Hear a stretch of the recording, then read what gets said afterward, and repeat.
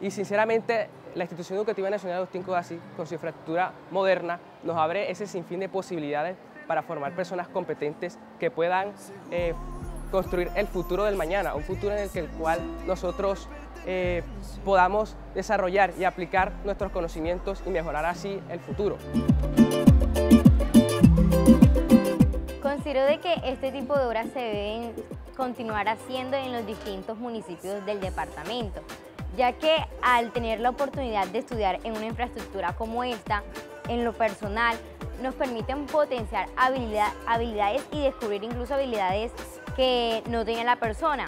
En mi caso, al estudiar en esta infraestructura, eh, pude descubrir que tenía la habilidad de leer, cosa que anteriormente no podía hacer en la, en la infraestructura anterior porque no contábamos con una biblioteca.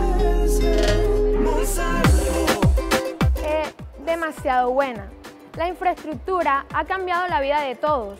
Eh, hay muchos más baños, hay muchas más aulas de informática, muchas más aulas de química y laboratorios que han ayudado a que las relaciones, tanto personales e interpersonales de los estudiantes, se afiancen.